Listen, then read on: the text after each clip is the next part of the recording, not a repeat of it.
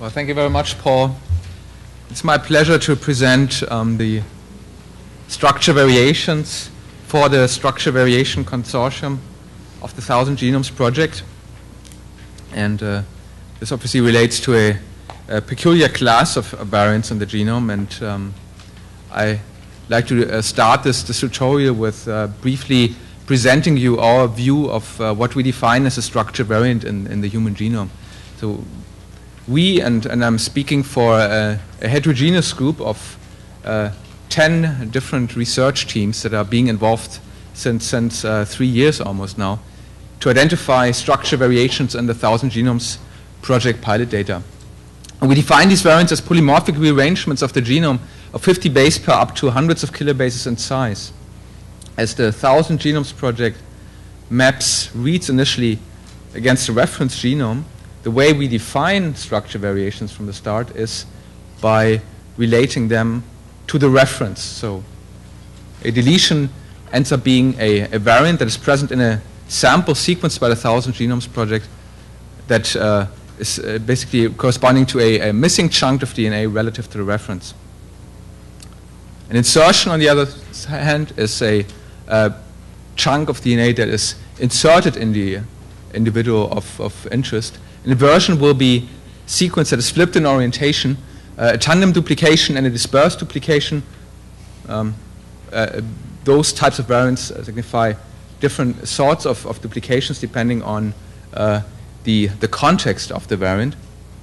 And uh, we're also looking uh, for copy number variants, or what the field uh, relates to as, as copy number variants, namely loci in the genome that show fairly uh, extreme variation in terms of uh, regions being strongly different in, copy number. How striking this variation can be is shown on the right panel of the slide. Uh, this essentially uh, shows results from a study I was not involved in personally by Perry et al. that looked at the uh, AMY1 gene locus and found quite striking copy number variation in this locus with some individuals displaying copy numbers up to 20 and others uh, displaying copy numbers uh, down to only three copies per person. And we want to give you some background information on that gene is actually a salivary amylase. And al. could draw a link between the genotype, that is the actual copy number of that gene, which is expressed in the saliva, and uh, human uh, uh, preferences in, in uh, terms of diet, in particular starch consumption. So relating to the work we carried out as a group over the last two years, a very important component of structure variation analysis in the Thousand Genomes Project was method development. And when the project started, methods to detect structure variation in sequencing data were in their child shoes. So we uh, developed methods and uh, began detecting variants largely with four different conceptual rationales that are summarized on this slide here. The first rationale is read pair analysis or paired mapping, in which we used the fact that the Thousand Genomes Project sequenced in uh, most of the sequencing reads uh, ends of a fragment for which the approximate size was known. So we could relate those read ends to the reference, and from the way the ends mapped onto the reference, we could then decide as to whether structure variant was present in the sample. So the ends mapped with approximately expected distance and orientation, we did not infer an SV at that position. However, if the reads mapped too far apart, um, we identified deletions. On the other hand, if one end of a read pair mapped onto a mobile element, this allowed us to infer polymorphic mobile element insertions in the human genome. And we also used the fact that we could uh, analyze the relative orientation of the read pairs we analyzed, and, and, this allowed us to identify tandem duplications. Some people in the audience may notice that uh, read pair analysis can also be used for other types of variants, and just had the question whether inversions have been ascertained by the Thousand Genomes Project. So in the, in the initial phase of the project, we made the conscious decision uh, not to look for balanced variants, which are harder to validate at, at uh, an appreciable scale compared to unbalanced variants. So we, in the first pilot phase of the project, did not look at inversions, but we identified mobile element insertions, tandem duplications, and deletions. So read pair analysis was one of the conceptual approaches we used to identify structure variants. The second one is read depth analysis. And in read depth analysis, we closely assessed where reads mapped onto human chromosomes, and this allowed us to identify deletions as regions in which much less reads mapped than expected, and, and duplications as regions in which many more reads mapped than expected. A third conceptual approach was split read analysis, in which we used the fact that we could align some of the short sequencing reads generated by the project directly over structure variations by gapped alignments. This allowed us to identify many deletions, in particular small ones. Last but not least, in the trios, that is, in the genomes that were uh, sequenced at very high coverage in a whole genome sequencing fashion, we could use assembly to identify several novel sequence insertions by an assembly rationale. I'm showing you in the next slide how essentially these different approaches that are quite different conceptually often identified the same type of variant by showing you an example uh, locus in the human genome, a deletion on chromosome 1. The position of the deletion is, is displayed on the upper panel of the slide in, in purple. And uh, the two panels below indicate um, or they, they display sequencing results from the TRIOS project. The middle panel corresponds to an individual of, of um, Nigerian ancestry, which does not display the deletions. So all the gray uh, spots on this, this panel indicate mapped reads that were mapped with a specific mapping quality. And the yellow line actually shows the read depth uh, uh, uh, along the chromosome for this individual. Well, you'll notice that the individual below appears to carry the deletion. So the read drop, the read depth drops significantly at the uh, uh, near the break points of the deletion. So read depth could actually be used to identify the deletion. Furthermore, stretched read pairs frame the deletion as well as a split read could be identified by gap sequence alignment, again spanning this deletion. So this is a nice example for educational purposes. It shows that different types of rationales can come to the, uh, to the same conclusion, identify deletion in, in a particular sample. Well, actually, in most instances, we found that different rationales for structure variant detection were actually identifying different types of variations. Read depth analysis was very well suited for identifying fairly large variants, as one may expect uh, the more, the, the larger the variant, the more reads map into it, allowing us to make a statistical ascertainment of, of a event. Uh, on the other hand, split read analysis was most suited for identifying small variants. Furthermore, and this is very important for um, you, the audience, potential users of the data, the precision with which structure variations were analyzed, that is, the precision with which we gained knowledge on the precise start and end coordinates of the variants also differed between the different approaches that we used. As you can imagine, for split read analysis and for assembly, the precision was very high. So those approaches map structure variations to their precise breakpoint. And we can record the genomic co coordinates as the structure variations become discovered. For read pair analysis, here shown in the middle panel, um, the uh, actual breakpoint precision that we assessed based on relating discovered variants back to validated variants and assembled variants. So the, the, the precision was lower. It was um, in the order of several dozens of base pairs. For read depth analysis, it, it was even lower than that as one would expect. So these are important information for, for being able to use the data. Now I'm going to summarize on this slide the actual extent of, of structure variation data that we released together with the 1000 genomes pilot paper that came out in Nature last week. So we released structure variation calls for two pilot projects for the low coverage and for the TRIO pilots. That is the whole genome sequencing pilots. Um, the amount of raw data and, and, and samples studied were related to in, in uh, presentations earlier today. Uh, we identified 11,000 deletions in the trio, 15,000 in the low coverage individuals, and uh, we furthermore identified about 6,000 mobile elements in both projects. So for those types of variants, deletions and mobile element insertions, we inferred based on gold standards that we achieved a sensitivity of approximately 80% in the high coverage trios. Lower sensitivity in, in the other uh, uh, individuals that were sequenced at lower coverage. So those were fairly well covered. Yes, um, there was a question uh, relating to the sizes of the deletions we discovered. We discovered deletions 50 base pairs in size and larger, up to hundreds of kilobase, and in fact, um, nearly megabase size ranged in, in, some, in some instances.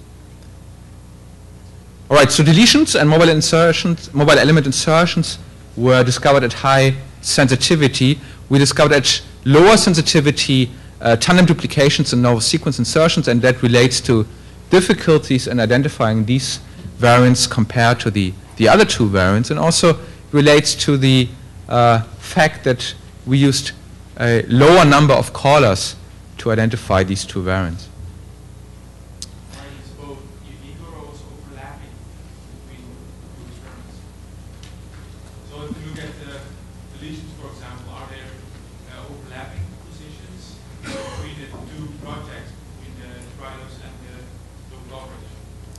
Right. So question was whether overlapping positions between the, the trios and the low coverage project.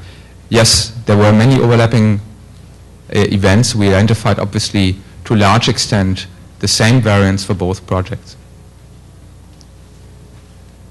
I'm showing below the number of structure variant breakpoints uh, or the number of structure variants for which we identified breakpoints. Uh, that's uh, slightly more than 50% of the structure variations we released have precise breakpoint sequences. That means they were either discovered by split read analysis or by assembly, or they were discovered by another approach, by read pair analysis and read depth analysis, and later validated by a targeted assembly approach by the Tigra assembler uh, that was developed at uh, Wash U, and that enabled us to essentially uh, enrich our set quite strikingly for structure variations for which we achieved breakpoint precision. Furthermore, apart from the discovered variants, we released a fairly large set of genotypes for structure variations. However, similar to um, the, uh, what we released in, the, uh, uh, in terms of discovered structure variations, uh, so far our uh, release set has a caveat that we only release genotypes for deletions uh, along with the pilot paper. Um, as we speak, um, a release of mobile element insertion genotypes is being prepared. So for this uh, second type of variations, we are um, in the process of releasing genotypes as well. For tandem duplications and uh, novel sequence insertions, so far no genotypes have been generated by the project. The slide here relates to deletion genotypes. Um, a method by Bob Handsaker et al. Um, called Genome STRiP has uh, been used to generate deletion genotypes for about 14,000 deletions. We closely examined the concordance of these deletion genotypes with previously published array-based genotypes, uh, in particular with about 2,000 deletions that have been genotyped in a paper by Conrad et al. that came out about a year ago. And we found the concordance to be uh, in the order of 99%. Genome STRiP, um, to give you some information uh, with regard to how this um, method operates, uses three of the um, features that um, I explained to you earlier in this talk that we use to discover structure variations, namely read depth, read pair, and split read analysis. And using the deletion genotypes that were um, inferred by Genome STRiP, we could relate deletions to uh, SNPs and, and identify for 81% um, of the common deletions um, that we generated genotypes for, at least one HapMap tag SNP uh, for which um, a very uh, strong association exists with an R square greater than 0.8%. This uh, means that a large por portion of the deletions we genotyped are actually uh, taggable by nearby SNPs and therefore in the future could be imputed into association studies. Um, um, again, relating to what was earlier said in this presentation, they could, in a sense, be genotyped for free, with uh, even with present uh, uh, genotyping arrays. I'd like to. yes.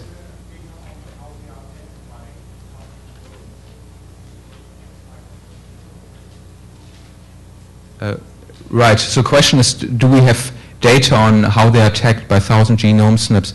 So this this analysis has uh, has been carried out recently, and um, uh, my answer to this is uh, no, I don't have data on thousand genome SNPs for this. So I'd like to spend the um, the remaining five minutes of my talk in, in uh, talking more in detail uh, about the specific data formats relating to structure variations. And uh, along with our structure variation release, we um, essentially released data uh, in uh, the VCF format that was mentioned in several of the earlier talks today, and that uh, provides the uh, specific possibility to, to represent structure variation calls. Uh, furthermore, we decided as a group, as a huge portion of the work we carried out in the last three years was approach development, we decided to also release uh, what we call master validation tables, which basically represent a uh, fairly raw data format in which various um, um, um, raw informations that that we collected over the last years can be traced back, and I'll, I'll come back to that a bit later. Uh, furthermore, we released structure variant breakpoint information as text files in FASTA format and uh, released specific information relating to the fact that an analysis of structure variation, a relation of structure variation to primate genomes allowed us to infer the ancestral state of structure variations compared to um, the chimp genome, for instance, and the macaque and orangutan genomes. So I'm going to start with uh, the VCF format um, and uh, um, won't spend too long on this slide as, as we heard um, um already um, a lot of details on VCF. Uh, important key messages from this slide are there is uh, useful tools available that enable processing VCF files that can easily be converted into Excel spreadsheets. Uh, Perl modules have now been released that also allow to uh, uh, um, essentially uh, browse through the um, VCF files and how such a VCF file looks like from a structure variant perspective is shown on this slide and I'd like to briefly walk you through it. Um, so uh, although uh, appearing cryptic initially, uh, what can be retrieved from the VCF file is the precise position of a variant uh, if it is known. There is a uh, VCF uh, format for a structure variant for which the breakpoints have been identified, but, but there's also an, an uh, imprecise tag available shown on the lower panel of the slide here um, for variants for which the exact breakpoints are not known. Um, apart from the position of the variant, if the variant breakpoint is known, we report the actual reference allele sequence as well as the alternative allele. Otherwise, um, instead of reporting the alternative allele, a uh, tag such as del will indicate that a deletion has been found at this position, and corresponding tags would indicate that a mobile element insertion, for instance, or a tandem duplication has been identified.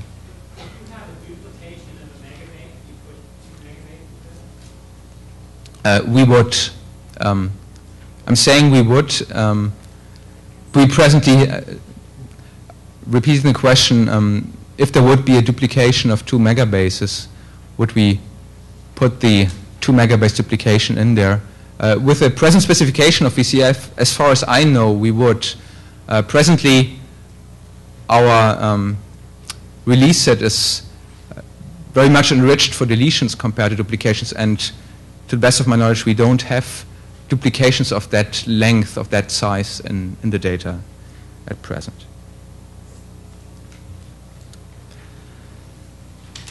Validation tables, um, a motivation for um, reporting these uh, tables along with the data is shown in this slide here. We uh, uh, have the opportunity through the master validation tables to uh, enrich the released structure variation data with um, specific validation results. We carried out PCR and microarray analysis at fairly large scale. And in the master tables for each call, um, users can uh, essentially obtain information with regard to the validation status of the variant, whether it was validated or not, and uh, um, the specific method that was used to identify the variant can be identified in the master validation tables along with um, meta information such as the precise breakpoint sequence. Examples for uh, master validation tables that are available online are shown in this slide here. Uh, I won't walk you through the slide in detail, but this is information present in your handouts that you can use and that will also be posted online. Last but not least, um, we're making information on the ancestral state of structure variations available, as well as on the formation mechanism involved. And this relates back to something I said in my introduction. So we define structure variations initially as a variant relative to the reference genome. Um, obviously, there are other views on how to identify and how to, to, to um, relate to a structure variation. And many people would say a more appropriate definition of a structure variant is whether it occurred as a deletion or as an insertion relative to ancestral genomic sequence when it occurred. And we use the BreakSeq classification algorithm to identify the plausible ancestral state and also the presumable formation mechanism of structure variations for which we identified um, breaks, breakpoint level data. And uh, the format of um, the GFF uh, tables that are uh, reported by the BreakSeq tool are shown on this slide here. So report, um, uh, in addition to data that would also be available from the VCF file, just as the chromosome, uh, the start and end coordinate, we report information relating to the ancestral state and the formation mechanism. Before closing my talk, I'm uh, relating back to the presentation by Paul Flicek. It is now possible to display structure variations in the Thousand Genomes browser, uh, making it uh, feasible for people that don't want to go through the process of, uh, of deciphering um, VCF files or of uh, downloading the appropriate software to, to deal with the VCF files. And uh, this is a slide that was also shown by, by Paul Flicek relating to a variant on, on chromosome 1 um, that is displayed, uh, a large deletion. Um, and uh, this uh, slide here relates to uh, the presentation that Jeffrey Barrett will uh, give after mine. It is uh, possible with the reference deletion genotypes that we released to impute deletions into genome-wide association studies. At least we're um, making, by making available these deletion genotypes, we we uh, facilitate uh, this, uh, this to you. deletions can be imputed into GWAS studies using existing tools. And I'm closing by showing you the link slide, which I see is a bit scrambled on this display, but it uh, will hopefully not be scrambled once the slide here goes online. I thank you very much for your information. These are the people that are involved in the a structure variation group of the Thousand Genomes Project. I'll be happy to take questions.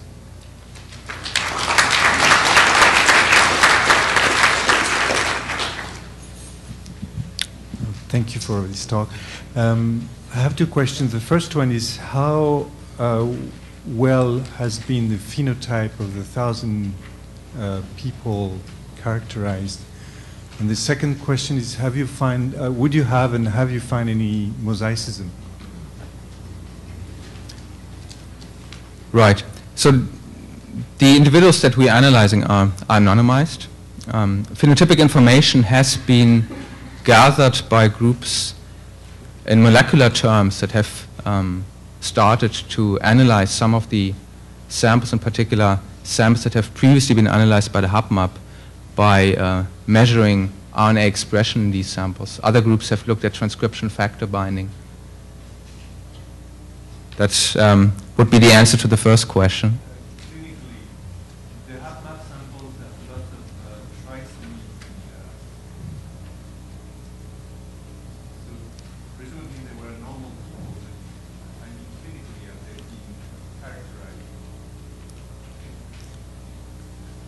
So this relates this relates to karyotyping, whether the samples have been karyotyped and uh, trisomies have been excluded prior to the analysis by the by the project.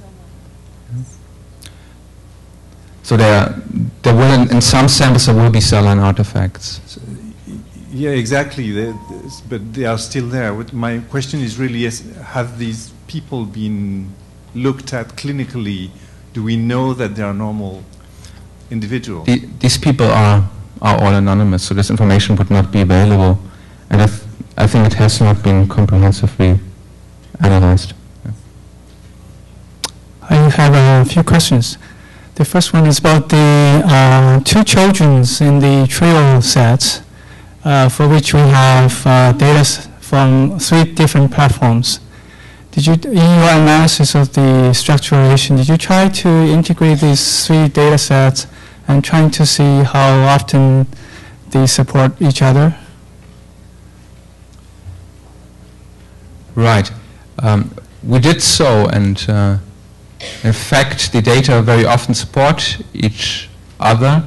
Um, what is more important, uh, the data um, uh, showed us that, that different, for instance, different insert size libraries that were used by the different platforms actually added value in a sense that large sizes enabled us to identify variations at a different size scale than, than smaller sizes. Is, is this information uh, kept in somewhere in the uh, VCF format? So you may have noticed this on, on one of the slides that I showed. Uh, through the tables that we make available on the Thousand Genomes website, this information can be traced back. So All right users can, can identify the sequencing platform that was used to identify a specific variant, or whether it was seen by more than one platform. Thanks. The other question is, uh, you mentioned uh, in your talk uh, this morning that uh, you are or you will be using BWA for the alignment. I know that the for the first data set you used MAQ, right? But I guess the reason using BWA is it's much faster. But on the other hand, uh, you know, uh, uh if I understand correctly, BWA doesn't consider the quality score. I just wonder if uh, that will uh, compromise any accuracy in the alignment. Right. Um, so another point that I did not mention in this tutorial, apart from testing various different methods for, for assessing structure variation after reads have been mapped to the genome. We also assessed the um, um, functionality of different mappers and actually different structure variation algorithms that were used uh, benefited from different types of mappers. So apart from BWA and, and MAQ, also mrFAST was used as a mapper, for instance. MOSAIK was used as another mapper. Uh, one tool used BLAT as a mapper. Um, so in a sense, um, to say it in simple terms, it depends a bit uh, what one is looking for. Split read analysis clearly benefits from a slightly imprecise mapper that then enables a, uh, an additional monitoring of reads that uh, were Im imperfectly mapped in the first mapping step. But I guess uh, for the BAM format you're providing to us, uh, would that be mostly done with uh, BWA? That's correct. Uh, I'm just wondering if your method for detecting structural variation is able to deal with overlapping or superimposed different kinds of structural variants, example like uh, a deletion that's on an insertion background rather than to the reference, and if so, like how that would be represented in the, in the VCF format. Right. So our analysis pipeline um, does deal with these types of variations. Um, we, for each uh, um, for each mm, um, tool that we use to identify structure variations, we closely assess uh, breakpoint confidence values to then be able to merge structure variations that were developed by different approaches in a second step. Uh, as, as long as they merge together, they're then considered as a single variant. If they don't merge, they'll be considered as being different variants Okay, so I think and can then be uh, analyzed as such. then an insertion with a deletion on it would be just an insertion, basically, of a different length. Right, if it's, if it's a deletion and an insertion identified at the same location, um, if both approaches use the same um, reference for inferring the variant, these would indeed be then uh, obviously reported as two different variants. Okay. But yeah. However, again, I was simplifying here a bit, so not all approaches use the reference genome as a reference. Some approaches use the population reference to Mhm. identify structural variation, uh, which then uh, leads to, may lead to a duplication call where another method would infer a deletion. Thanks. Oh, when we use the imputation program to impute the common deletions, by common, do you mean one, uh, larger than 1% or 5% here? Right, and uh, to my knowledge, uh, the Genome STRiP software um, imputed all uh, deletions greater than 5% with Beagle. 5%. Thanks. Was there a significant drop in precision and sensitivity for the heterozygous deletions in the CNV calls when moving from the low coverage to the high coverage samples? Right. Can you please repeat the question? So, uh, was there a significant difference in the precision and specificity of heterozygous deletion calls when comparing the low coverage samples and the high coverage samples? Right, that's a good question. So the low coverage samples did indeed uh, enrich more for homozygous structure variations than for heterozygous ones, um, which uh, simply comes from the fact that uh, the genomes were sequenced at a depth of 2 to 4x, which makes it much easier to identify a homozygous variant over a heterozygous one. I have one another question. In one of the table, it says that the novel sequence insertions identified in trios one was 174, and there were none identified in the low coverage samples. And the trios were done at 20x. The trios were done at 20 to 40x. Uh, okay, so is it just because of the high coverage, or is it because there's more confidence because of the transmission availability here? Yeah, good question. So in this case, really the depth was the, the major consideration. Um, as assembly of a new sequence insertion indeed requires uh, a lot of reads to be able to confidently assemble that insertion. So the assembler was, were only run on the high depth samples.